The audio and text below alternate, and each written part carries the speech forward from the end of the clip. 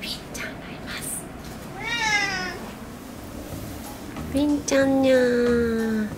この子は叩くと喜びます。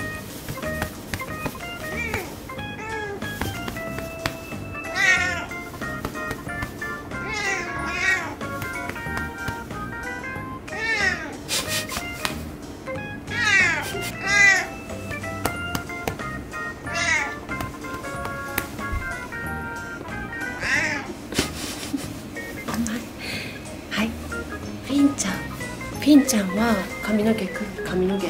ピンちゃんは毛が黒いからだ。まあマシやけどみーちゃんとか白い毛ね。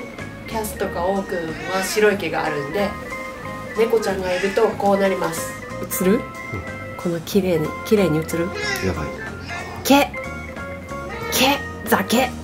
でカートくんの仕業でこっちが。これ。カートくんの仕業これはやばい。背もたれもな。うん背もたれまで行っておるからね。で次行こう。ああと王くんが端っこが好きなのよ。あれ？やばいよ。汚い。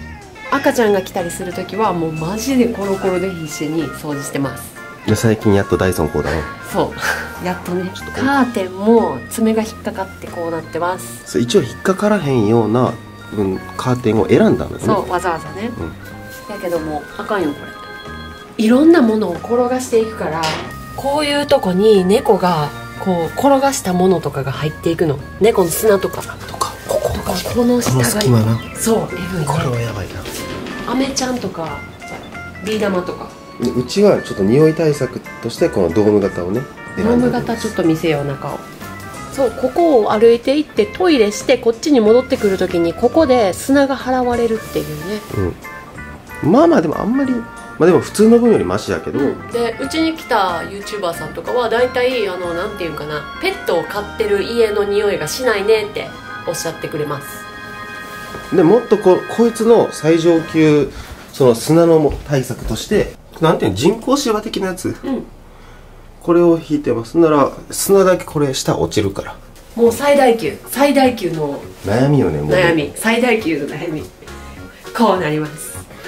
これはねひどい。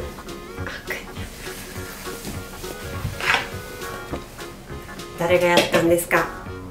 誰がやったんですか？えっ、ー、とね俺犯人は知ってます。誰？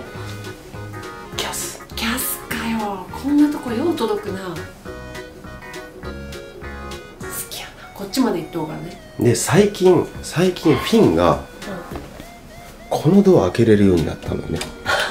そうそうそう。あの前まではこうあっちのドアで押す押してお開けるっていうのができとって。そう、うん、もう今こいつ引けるからな。ストッパーをしてね夜寝るようにしてます。聞いて。最近ストッパー外すね、ん、へえこれをフィンとキャスが2人でこれをピッピッってやってんの賢っ。こ俺この瞬間見て見てもってさちょっと今度動画撮るわこれな、はいなんと今日布団を干しました。干してましたね。毛だらけなんでいつも。それそれこっちこれそれこっち。あのあのソファーやあのこうなるから。これはもう完全に。こっちもあるよ。これな。これはやばい。大変だな。これ一応一応こういうとこ修理はしてんでこれこれ一応ここ修理した跡があんのよ。けど修理後もやられるからね。でね。ここもやった。ちょっと。はい。でね。はい。うちはあのこういう動くクローゼットがあるんですけど猫の毛がつかないタイプね。これはとてもいいです、これね。でもう一個はやっぱりクーラー。うん。こういう系はちょっとねやられるのが早い。早い。偽物なんですけど猫ちゃんの毛がねあんまりつかないやつです。でこれ結構掃除機でねすぐ取れるんですね。でここ爪これが今。今ここに爪研ぎがあって。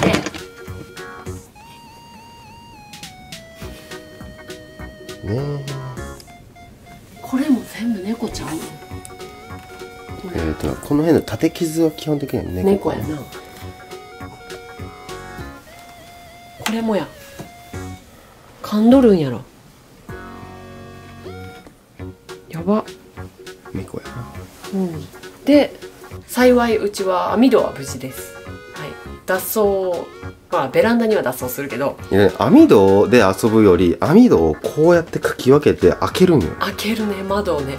鍵閉め重要っていうね、常にしまお前デブいな。ほんまにデブいつい抱っこしてしまうねんスコティッシュフォールドは。キッチンのロールカーテンやばくねコロコロできないからね。これはもう買い替えるしかないかな。あとはやっぱパソコン系のこの吸収するところとかはこれはパソコンの中は掃除したことがあるけどやばい。やばい。なんかこういう何テレビパソコンでこういう機材系？この辺ちょっとね怖いよね猫の系ね、というわけで我が家の猫対策でした。猫がいると家はこんな感じになりますでこうちゃんと対策できとんトイレぐらいやな。トイレぐらいやな。それ以外対策できてないもんな。しまあまあまあいろ、まあ、したけど。まあ5匹もおるからでも5匹おってこれだけでの被害で済んでるっていうのはまだマシな方やと思う、あまあそう考えたらねうん、次はあの犬対策もねご紹介したいと思います